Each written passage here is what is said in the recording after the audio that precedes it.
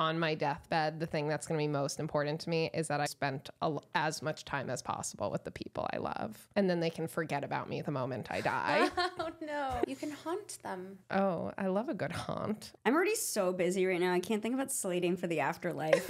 My I'm schedule.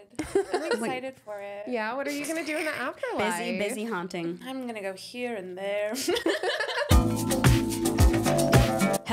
Welcome to Cleopodtra. I'm Christie Vana. And I'm Lynn Molly, and this is a podcast about two comedy queens digging up the funny from the first generation experience. Our guest today.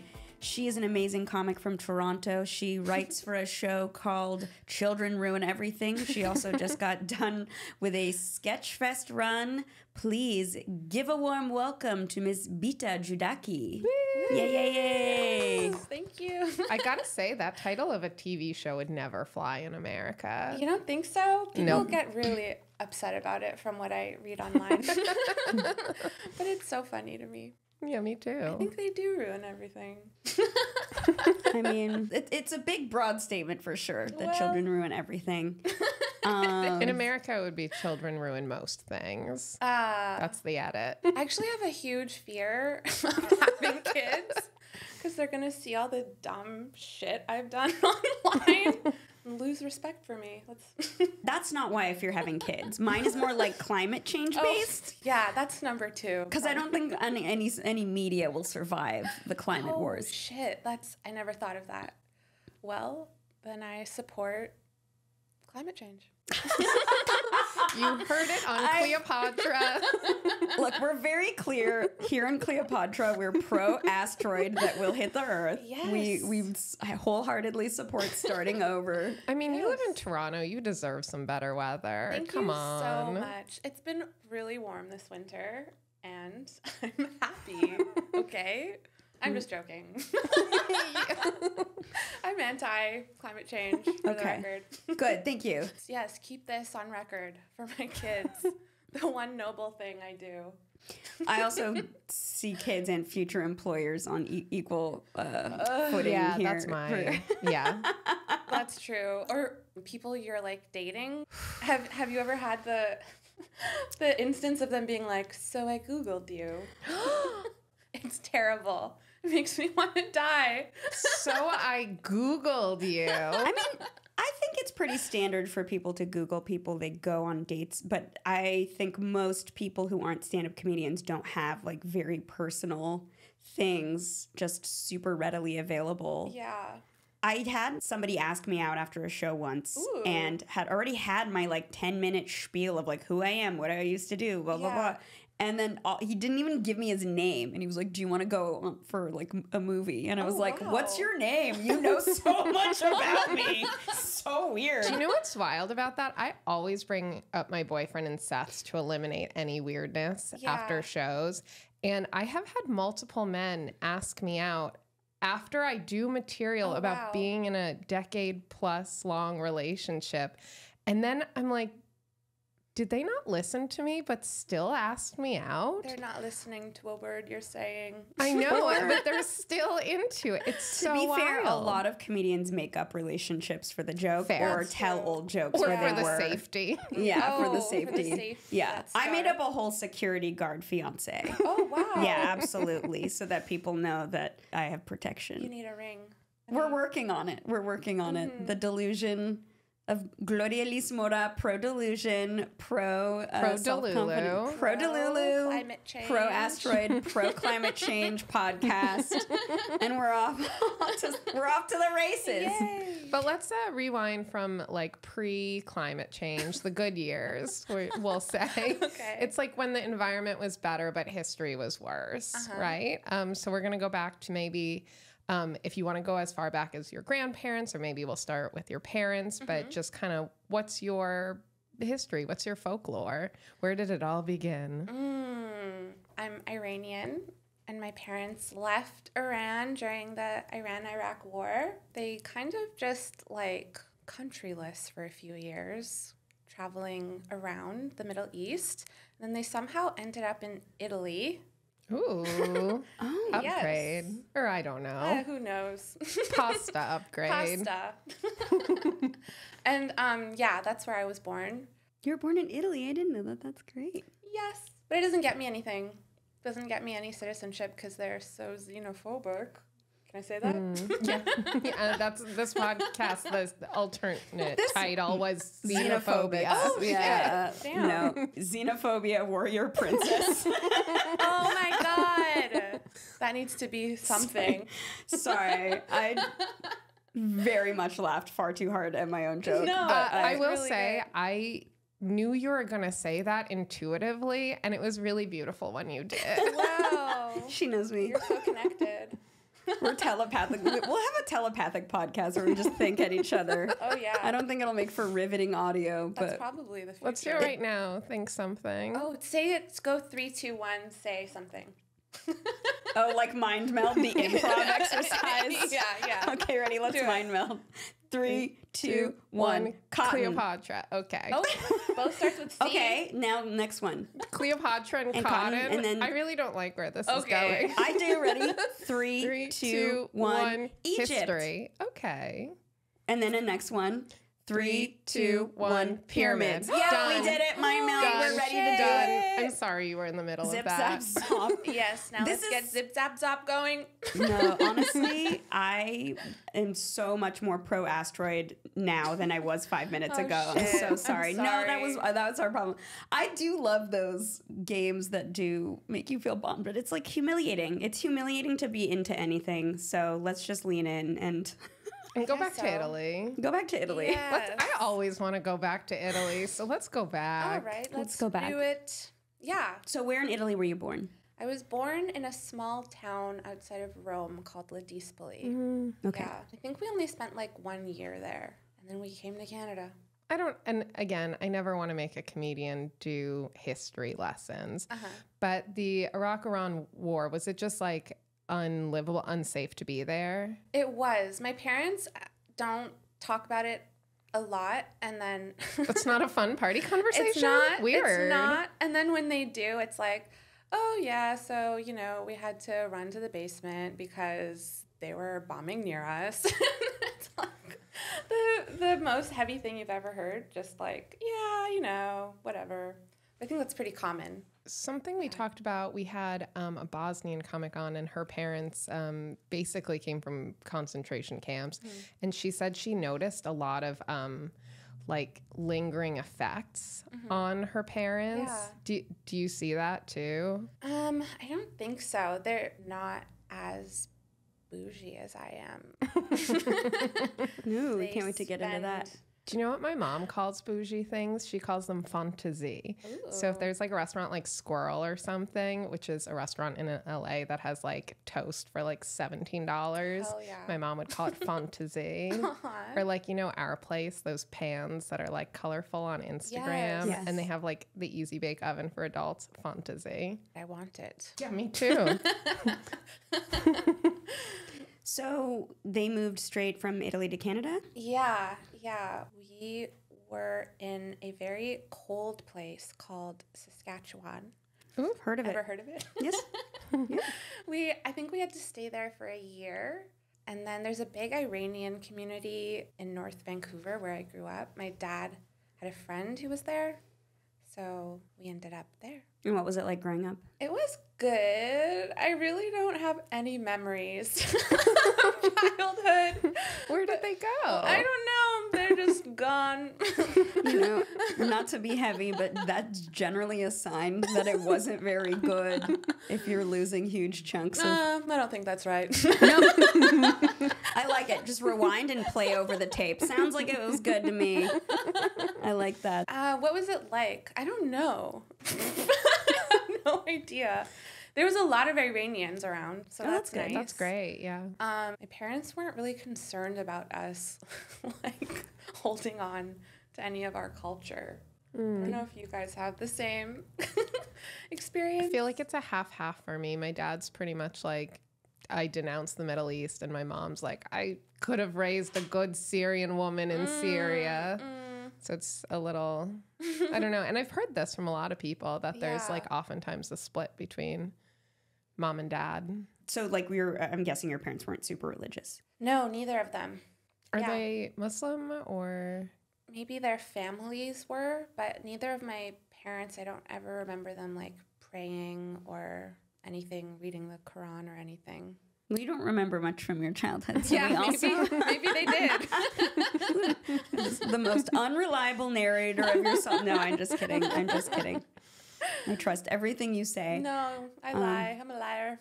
I, I do absolutely love how Canada, at least the major cities, feel so much more integrated racially than America does. I feel like I've talked to so many Canadian comics and they're like, we didn't grow up with racism. And I'm like, excuse me, what? well, that's not true. There's definitely racism, but I think it's more diversity, at least and less segregated. My in, impression is in the major cities, but the racism is also so passive aggressive. Oh, they just do it nicely. Yeah, which I think is almost worse because then it does.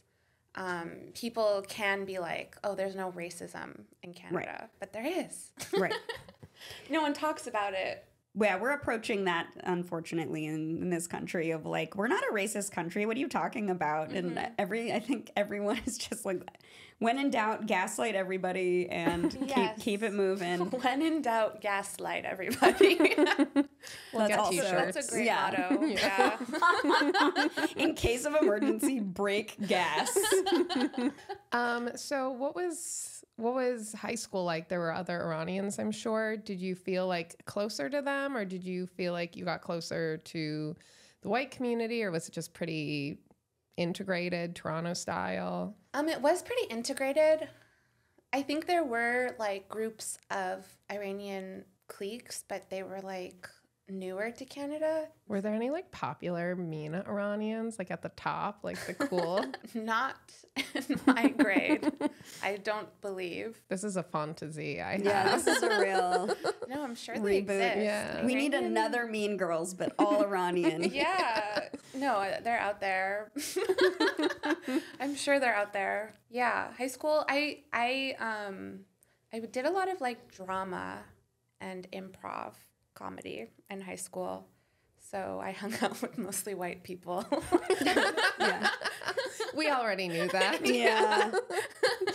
so everything was very much like the first 10 minutes of this podcast. Pretty much. Yeah. You did improv in high school, and then what did you study in college? I went to um, an art school and I studied film production. Oh, you've been in the game a long time. I guess so, but it was meaningless.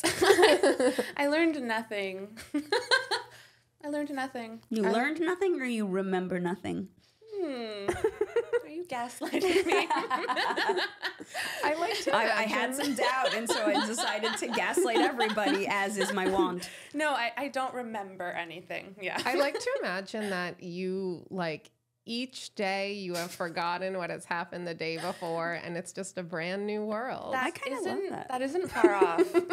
I think I'm gonna start doing that. Well, I want zero recollection of it. Every day I get to reinvent myself, and it's, gra- It's 50 Groundhog first Day. dates. 50 Yeah. first dates. No, Groundhog Day, you remember. Ooh, true. So you're like, Oh, oh no, yeah. this True. again. 50 first dates. yeah. It's the opposite where it's something new every day and it's and you don't have that memory, right? Yeah.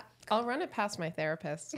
Okay, ask See what her she thinks. ask her where where we so need to get the head injury to Oh my God. to make this happen. Can you remember the the mo- the fall?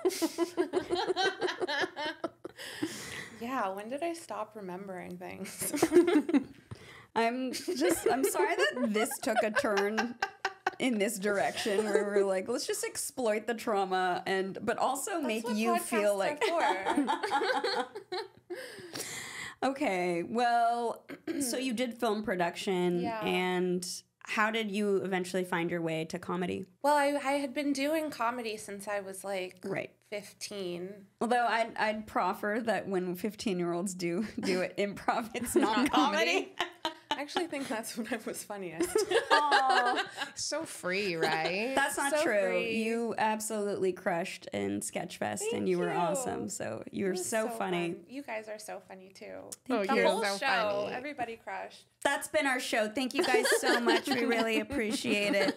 It's just 30 minutes of compliments round robin. Beautiful. Smart. Forgetful. I used to never tell people I was a comedian. Like I lived with this girl for three years once, and I was like, I think it's time I tell her I'm a comedian. Yeah. No, that is a secret one should keep to themselves. Three years it was like such a shameful thing to admit for some reason. No, that is, yeah. I was ashamed to say I was doing it for a long time because I didn't want to admit that I thought I was funny. That's so interesting that that's why you thought it was embarrassing. I feel like most people don't say it right away because they don't feel like they're qualified to actually say it. Like it took me a while because for a while I was like, oh, it's just kind of like a thing I do on the side. Mm-hmm. But now that I feel like it's my actual career, I feel Yeah. more confident. That's good. Someone once told me they were like, wow, it's so bold of you to feel comfortable calling yourself an artist. Holy shit. I felt really comfortable calling that person an asshole. Yeah. Oh my goodness. How do you respond to that? I was just like, I don't know, like Shut up. get get delusional, like get on the train, buddy. Yeah. What's the what's the alternative? I think he was struggling to call himself an artist. see, I yeah. see. Okay, so let's see. Let's do more trajectory stuff. We did college and then what happened after that? Like did you get like a traditional career or did you go straight into pursuing your dreams? I just kind of floundered for so long. I love a flounder. I made like terrible films that nobody has ever seen. Um, I worked in coffee shops and um, restaurants. I did a master's in film production for no reason.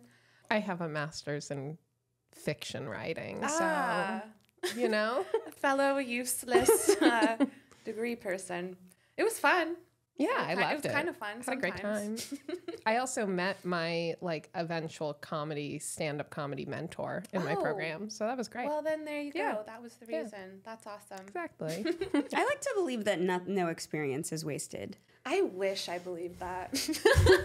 I will say that about any moment in the past, except, and but never about the present moment. okay. The present moment, I'm like, I'm failing at all times. Everything I do is wrong, and my life's over. But everything up until this moment has been in informing my current failure. No, uh, has been informing like you know the trajectory. I Yeah. really do believe that there's no such thing as a wasted experience. I love there is that. wasted money though. Mm, There is. Yeah. That's true. There is wasted money. I'm very good at that. Yeah.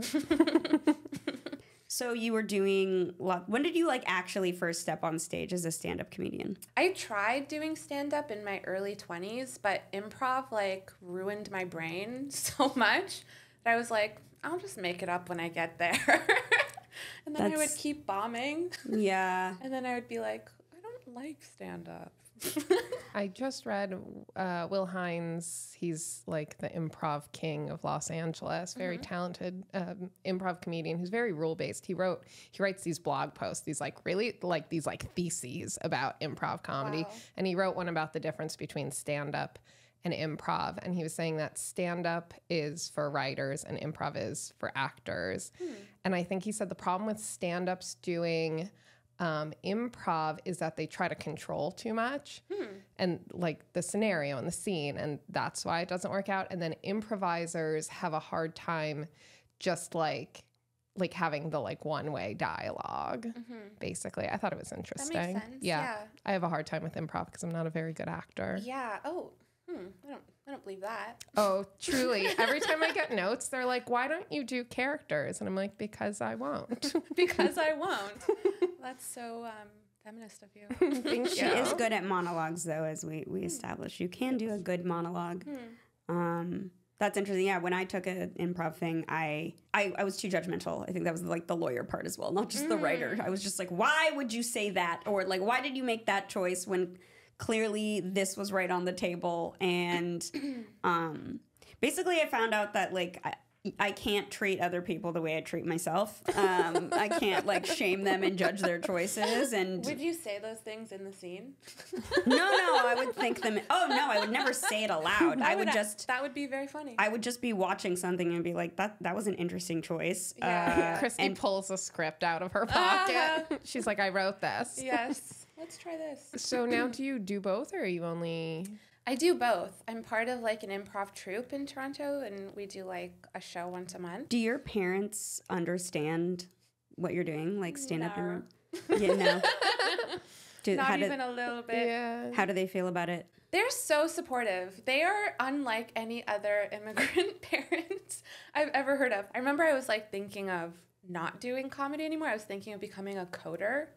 And they're both like, no. Aw, we love that. Yeah. Part of this podcast is dispelling the myth of the um, disappointed immigrant parents. yeah, they are not like that at all. Part of the podcast is also reinforcing. it. Yes, of course. Touche. Of course. We, we need the balance. I have a f- really good friend that lives in Canada and she gets like artist grants for her band and has found that Canada is like a, a better, easier place to be an artist. Do you have any comments on that? I've heard that. We do have a lot of grants. I've they're hard to get though. I've I've I've gotten only a few for for film stuff. Um, but I have heard that that you've gotten any is amazing. Yes. Yeah. People are always like, there are grants, there are grants, but literally, grant writing is a full time job. it's so hard. like, you can be hired to be a grant writer. Yeah, people do that. Yeah, it's really hard. You also, I feel like, especially like BIPOC creators, artists, it's always like, but what's your trauma? It's Yeah. like we have to be like, this is how I'm different. right. So And then your please art- give me money. Has to reflect that. Like, you Yeah. can't just do. And just make a show about a Right. loser. Yeah. I don't want to sound like the the diversity grant scholarship committee that's asking you to mm-hmm. Place your cultural identity on a platter, but how do you connect, if at all, with the uh, Iranian part of you? I really ran away from it for like most of my childhood and then um, my early 20s. But around like 24, I started taking Farsi classes. Uh, I started learning how to make the food. Yeah, my family always celebrates Nowruz. Uh, What do you think sparked the shift in wanting to connect with it again? Um, I think not having like a sense of community really, or being kind of jealous of my other friends who grew up with more of their family just seems like kind of like a built-in community that I was kind of missing. So, when are you cooking for us? I'm not good. Okay. you, you don't want it, but I I mean, I'll try. Okay. I mean, we have no shortage of Iranian food in Los Yes. Angeles. It's also so hard. I'm I'm sure you guys know the struggle of like my mom being like a little of this, a little of that. Right. There's like no measurements. no recipe. no recipe. Yeah, it's hard. One time, my grandmother gave me a recipe, and one of the ingredients was handful of oil. She said a handful of oil, and I was like, "Whose hand?" Yeah. Cleopatra was, she considered herself a living goddess. Um, do you have any kind of supernatural powers? or do you have a story where you felt like you transcended humanity? Holy shit. or any useless talents? yeah. I think the what the most powerful I feel is when I'm on stage, which is so lame to say. Um, I'm on stage and I'm killing, like everything I'm saying is getting a huge laugh. In improv, I feel this especially sometimes because you're just making it up on the spot, and it feels like it's coming from. I don't know. It just appears what to say appears in your head, and it gets a huge keeps getting huge laughs. That's when I feel. Um, that's when I feel kind of the most powerful. I think. I've heard a lot of people say that when they have these sets where they're really crushing, they like leave their body and they're like watching themselves. And I have never had that. Is that something you guys relate to? I've never had something where I'm out of body, but I have had the feeling where I come off stage and I feel like high, like like I've just done a drug. Mm-hmm. Yeah, but then yeah, it's kind of scary. when the set is so fun. I have a really hard time sleeping after one of those like really Yes, totally. impossibly good sets. I usually have a hard time sleeping after an impossibly bad set, and I usually have a hard time sleeping. that's true. I think we've established you are a pretty insomniac. I, But. I miss insomnia. Hmm. So the next question is Cleopatra had adopted a lot of Egyptian customs, even though she wasn't actually from Egypt. Mm-hmm. Um, do you have any Iranian customs or things from maybe Italian culture that your parents have retained? Or um, alternatively, is there something like super Canadian about you that you love and just lean fully into? Something that I do that's I think the whitest thing I do Okay. is I like severely judge people on their handshakes. oh. Yeah. If someone gives me like a dead fish, Mm. I am done with them immediately. You keep an actual dead fish in your pocket to return Yeah, the oh, I food. should. Comparison. That'd be terrible. I would smell so bad, but But boy, oh boy, would you be prepared? yeah. It's true. A dead fish is I'll nobody keep likes. it in a Ziploc. yes. Be like one second. Yeah, so I do that, and then when people have really firm handshakes, I'm like, I want to get to know them. have you ever had though? I, I have a pretty good handshake. I've gotten many compliments on it, and You That- you doesn't strike me as a firm handshaker. that sounded very Trumpian. I have the best handshakes, but I. I've had grown ass men like crush my hand to death, and I'm like, "What do you think you is happening mm. right now?" When they do that, I give it right back to them. I squeeze so hard. But what's it? It's like an impromptu arm wrestle, It's but a just with power. the hands, and you're like, "What's a- going on?" it's a power move that I, Yeah, I- I'll Women of play right color back. start aggressively Squeeze attacking other Yeah. hands. I do pay attention to how people there. that- There's also the extend, and then they turn their hand over, and you're like, "What?" and that's also a Oh. power move, and you're like, and then that would throw me off. I'm sad to report I might have the weakest handshake No. of all. I'm a very floaty person. okay. And uh, yeah, I'm I'm pretty sure it's a it's not a good it's not a good. But we can you can train me after this. Yeah, montage, training montage. I'll just give you stress balls to like Yeah. strengthen your yeah. Oh, I have muscles. strong hands, just a weak personality. Oh. you can overcompensate with disturbing eye contact. Just Oh. really good look you in the eye. Oh. I think it's weird when people shake your hand but they're not looking at you. And that Oh. is like a weird friggin' That would piss me off. thing that I've That's like an LA thing where it's like you say hi but then they're like is anyone else better Oh no. to talk to? Is there anyone else more important to I be addressing? that. Don't like that. Do they not do that in Toronto? I'm sure they do. I just don't. I'm the one looking away. You're the one looking that's hilarious. no, no, I'm not. I, I I don't remember anyone. I don't like have a memory of anyone doing that. But as you know, I forget everything. Is the comedy scene full of egos there the way it is here? I guess I feel like any group of artists are gonna have very That's true. There's always gonna be egos. yeah. And comedy is such like a vulnerable thing. If you feel that it's not going well for you, It's such a muscle to just like get over the bombing and the humiliation and the uh, The worst though is when you are in one of those situations and you blame it on the room and the audience, and then someone goes up and crushes, Big and you're like, kill. okay, And- then and- that's yeah. that was truly was me. me. begs to differ. Begs Yeah. to That's differ. so funny. I, f- I just would love to know more about why people bomb because I've seen people do a set and kill, like destroy, and then I'll see them the next day do the same set and they bomb. And I'm just like, what the hell? Like, Yeah. it makes no sense. There's no explanation there for really, it. sometimes there isn't. Well, the explanation is that there's just too many variables. Mhm. The time of day, Mhm. the order that you go up in. Yeah. How are you feeling that day? Who's in the audience? Who went up right before you? Did they do something awful? Yeah. Who's yeah, hosting? Right. What happened that day in the news?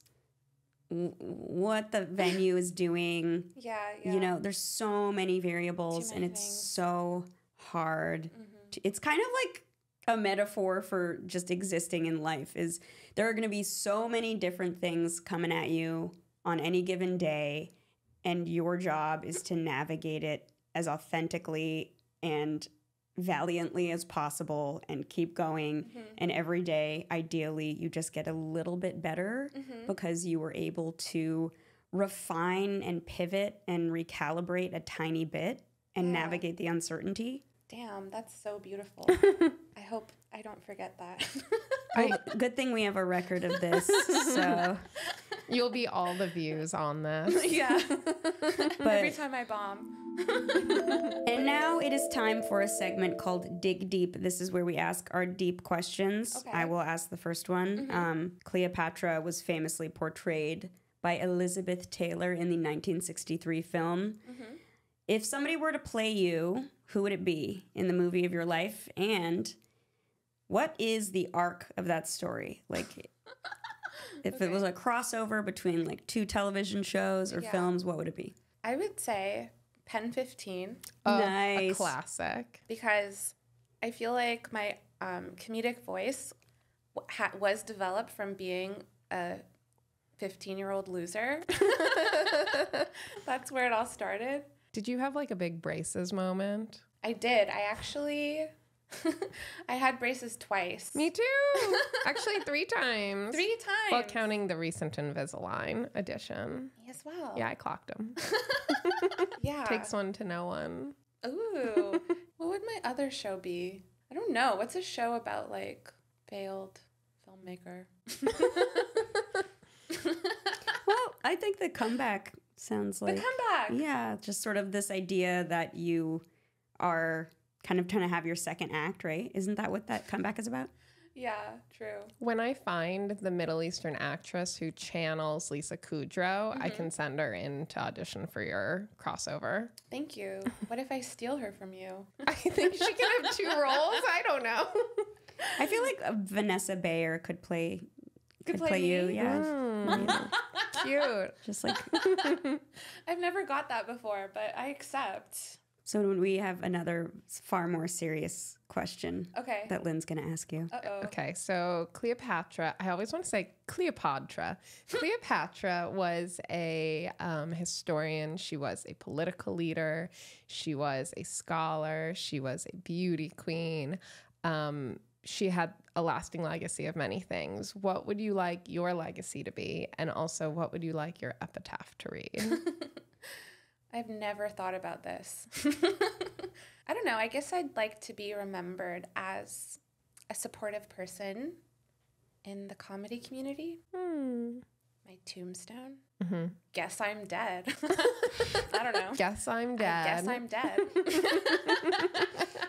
It is what it is. Here we are. yeah. I have been saying it is what it is so much lately that I'm concerned for the state of my mind. It sounds like you're in a deep depression. I've been is- saying it it, is it multiple is. times a day, and I don't think I've ever said it before. And suddenly it's coming up a lot.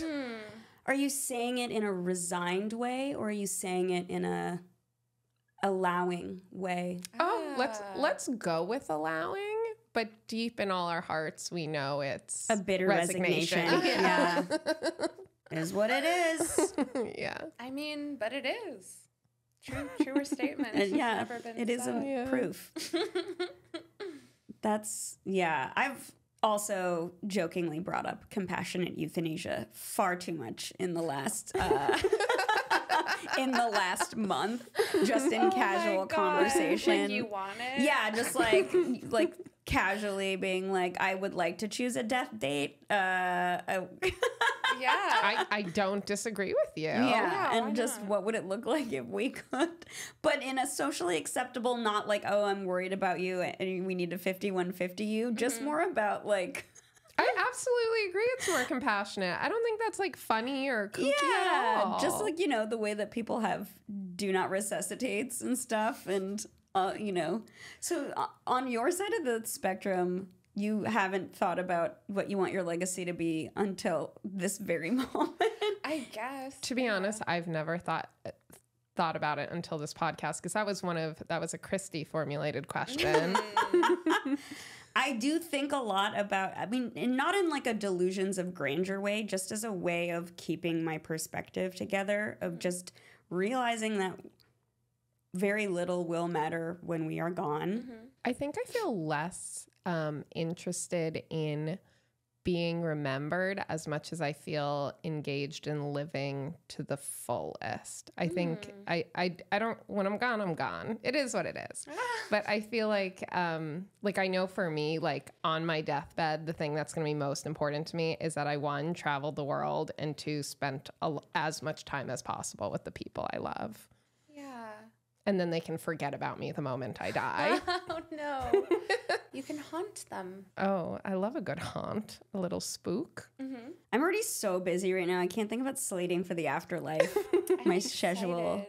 I'm excited for it. Yeah, what are you gonna do in the afterlife? Busy, busy haunting. I'm gonna go here and there. Oh, every which way. I see a lot of corridors for your afterlife. yeah. Play pranks on people. That would be nice. Finally, have the levity in in the afterlife that I could not have in while I was alive.